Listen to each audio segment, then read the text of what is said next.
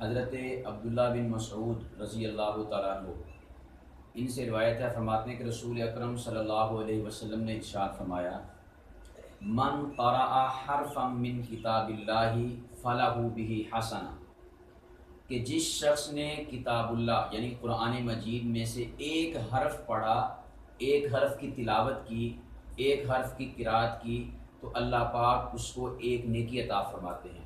कितनी नेकी अता फरमाते हैं? एक। नेकी अता फरमाते हैं। आगे फरमाया वल हसना तो ब्याशरी अमसालिहा। उस एक नेकी की वक़्त वैल्यू अहमियत या उसकी कीमत एक ही नहीं है बल्कि दस के बराबर है। कितने के बराबर है? दस के बराबर है। यानी नेकी अल्लाह पाक एक अता फरमाते हैं लेकिन वो एक नेकी भी दस नेकियों के बराबर होती है। इतनी बड़ी फजीलत है कुरान पाक पढ़ने की कि हर हर्फ पर कितनी नेकी मिलती है? एक। लेकिन एक के मुकाबले के अंदर अल्लाह पाक कितनी अता फरमाते हैं? दस। नेकी अता फरमाते हैं। ठीक है? आप इसको मिसाल से समझें। नेकी एक ही होती है लेकिन मिलती दस हैं। मिसाल के तौर पर जो आउट ऑफ़ कंट्री ममालिक हैं दोहा कतर है अब वहाँ एक रियाल है उसकी कीमत पाकिस्तान के अंदर अट्ठाईस रुपये है। वहाँ का गोया कि एक रुपया है, वहाँ का एक पैसा है, एक रुपया, एक करेंसी है वहाँ की, एक रियाल। लेकिन जब हम उसी को पाकिस्तान की करेंसी में चेंज करवाते हैं तो एक के मुकाबले में हमें मिलते हैं अट्ठाईस। कितने मिलते हैं? अट्ठाईस। तो वहाँ का कितना है? एक। यहाँ का कितना है? अट्ठाईस। इसी तौर पर कुरान पाक जब आदमी पढ़ता है नेकी उसे एक मिलती है। नेकी उसे एक मिलती है। लेकिन जब हम उसी एक नेकी को कुरान पाक की मार्केट के अंदर लेकर आते हैं और यहाँ से गोया के नेकी चेंज करवाते हैं, हम एक नेकी लेकर आते हैं, अभी ये हमने नेकी की है, यानी कुरान पाक की का एक हर्फ पड़ा है।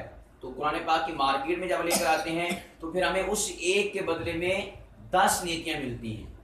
जिस तरह एक रियाल के बदले में हमें कितने मिलते हैं? अट्ठाईस रुपए। इसी तरह पुराने पाक पढ़ने पर अल्लाह पाक जो नेकी अता फरमाते हैं, जब हम उस नेकी को पुराने पाक की मार्केट में लेकर आते हैं तो अल्लाह पाक हमें दस नेकियाँ अता फरमाते हैं। ठीक है?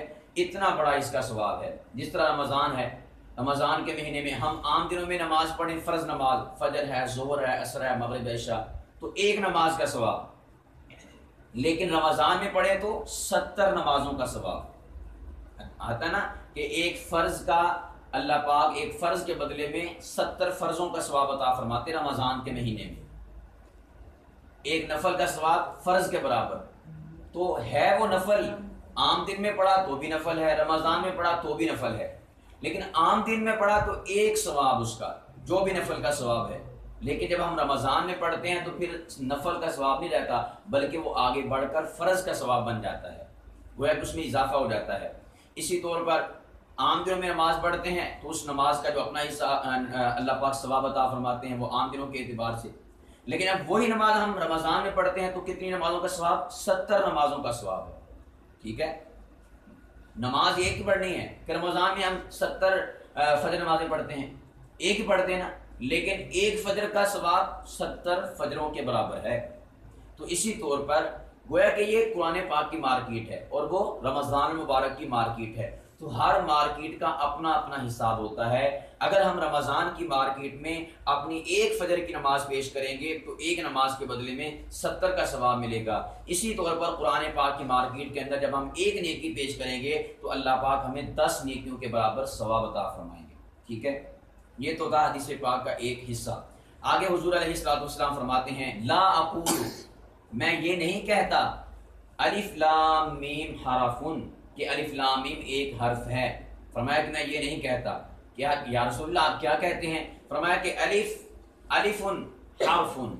अलिफ एक हर्फ है, वलामुन हरफुन, और लाम दो हर्फ हैं, दूसरा हर्फ है। वमीमुन हरफुन और मीम तीसरा हर्फ है। गोया कि हुजूर अलैहिस्सलाम ये बताना चाहते हैं कि अगर तुम अलिफ लाम मीम पढ़ोगे तो उसके ऊपर आपको दस नेकियाँ नहीं, बल्कि तीस नेकियाँ मिलेंगी।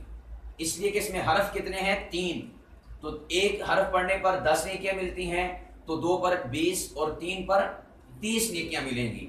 तो गोया कि अगर हम कुरान पाक में अलिफ लाम मीम पढ़ेंगे तो अल्लाह पाक हमें दस नहीं, एक नहीं, बल्कि तीस नेकियाँ ता फरमाएँगे। अब कितने खुश नसीब हैं वो अफराद जो हर रोज़ कुरान पाक की तिलावत करते हैं, कुरान पाक को पढ़ते हैं तो हर हर हर्फ के अंदर अल्लाह पाक उसको, उसके इवज के अंदर, उसके बदले के अंदर, उसके अजर के अंदर जो है दस दस नेकियाँ दिए जा रहा है। और हमारे अमाल में लिखी जा रही हैं, जितने हमने हर्फ पढ़े हैं कुरान पाक के। तो इसलिए कुरान पाक पढ़ने का मामूल होना चाहिए। अल्लाह रब्बुल ने हजूर अलैहिस्सलाम के चार औसाफ बयान किए हैं, या चार जिम्मेदारियाँ बयान की हैं नबूवत के हवाले से। चौथे पारे के अंदर। तो अल्लाह पाक ने उस वहाँ पर ज़िक्र किया, यतलू कि ए महबूब, तेरा एक ये भी काम है, तेरी एक ये भी ज़िम्मेदारी है कि तू अपने सहाबा के सामने या लोगों के सामने कुरान पाक की तिलावत करता है। कुरान पाक को पढ़ता है। तो कुरान पाक की तिलावत ये अलग से स्वाब है। इसको समझना, इसमें से मसाइल अखज करना, इसके अंदर रसूख हासिल करना, ये अलग से स्वाब है। और कुरान पाक की तिलावत करना, इसके ऊपर भी अल्लाह पाक स्वाब अता फरमाते हैं। तो ये दुनिया की वाहिद किताब है कि जिस किताब के एक एक हर्फ के बदले में नेकियाँ मिलती हैं, वरना और किसी किताब के सवाब मिलते हैं। मिसाल के तौर पर आप दीन की, दीन का इल्म हासिल करने के लिए या दीन लोगों को सिखाने के लिए कुछ सीखते हैं, उसूल सीखते हैं, मंतिक सीखते हैं, फ़लसफ़ा सीखते हैं या कुछ इस तरह की चीज़ें सीखते हैं, उसके ऊपर आपको स्वाब मिलता है। लेकिन जिस तौर पर अहतमाम के साथ और कैटागोरिकली और बिल्कुल जो है परफेक्ट तौर पर और अल्लाह रब्बुल आलमीन ने हुजूर अलैहि की ज़ुबान से मुतन करके कहा है, ऐसा किसी किताब के बारे में नहीं कहा। तो इसलिए कुरान पाक को ज़ोक से ज़ोक से, शौक से इसकी तिलावत करनी चाहिए, पढ़ना चाहिए, बल्कि कुरान पाक के साथ इंसान की दोस्ती होनी चाहिए। तो जब दोस्त होते ना दो तो वो आपस में बातें करते हुए थकते नहीं है, मज़ा आता है उनको। ताल्लुक होता है, उनका नस्बत होती है, मोहब्बत होती है आपस के अंदर। इसी तौर पर मेरी और आपकी कुरान पाक से दोस्ती होनी चाहिए। इस हद तक कि हम कुरान पाक इतना पढ़ें इतना पढ़ें कि हमारी ज़िंदगी का जुज्व लाजिम बन जाए। कुरान पाक को पढ़े बगैर हमें सुकून हासिल ना हो। इस तौर पर हमें कुरान पाक पढ़ना है और नेकियों को समेटना है और अल्लाह रब्बुल आलमीन की बारगाह के अंदर क़यामत के रोज़ सुरखरुई को हासिल करना है। अल्लाह पाक ज़ात मुझे और आपको कुरान पाक पढ़ने की तोफ़ी अता फ़रमाए और इसका अजर हमें अता फ़रमाए।